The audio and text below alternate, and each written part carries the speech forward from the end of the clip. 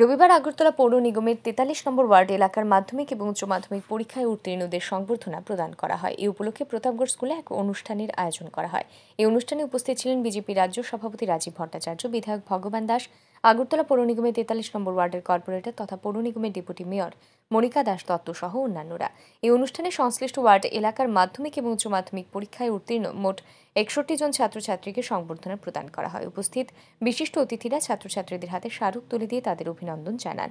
এই অনুষ্ঠানে বক্তব্য রাখতে গিয়ে বিজেপির রাজ্য সভাপতি রাজীব ভট্টাচার্য বলেন, সমাজ পরিবর্তনই মূল লক্ষ্য।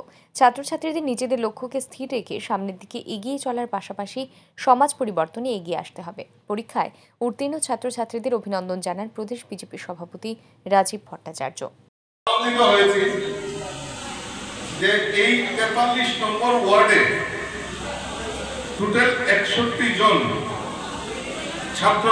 এবার মাধ্যমিক এবং উচ্চ মাধ্যমিক পরীক্ষায় উত্তীর্ণ হয়েছে। তার মধ্যে উল্লেখযোগ্য যেটা, সেটা হলো ফার্স্ট ডিভিশনে আঠারো জন সেকেন্ড ডিভিশনে সাতাশ জন, এবং নর্মাল যারা পাস করেছেন তার মধ্যে উনিশ জন।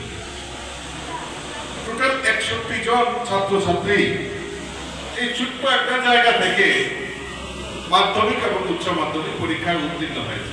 আমি তাদেরকে ধন্যবাদ জানাই। তাদের চলার পথ যাতে সুগম হয়, তারা যাতে সমাজের নাম উজ্জ্বল করতে পারে, আমি তাদেরকে শুভেচ্ছা এবং অভিনন্দন জানাই পাশাপাশি যেহেতু দাঁড়িয়েছি, দু একটা কথা তো বলতেই হবে, কারণ এই অনুষ্ঠানে অন্যান্যদের মধ্যে বক্তব্য রাখেন বিধায়ক ভগবান চন্দ্র দাস, স্থানীয় কর্পোরেটর তথা আগরতলা পৌর নিগমের ডেপুটি মেয়র মনিকা দাস দত্ত।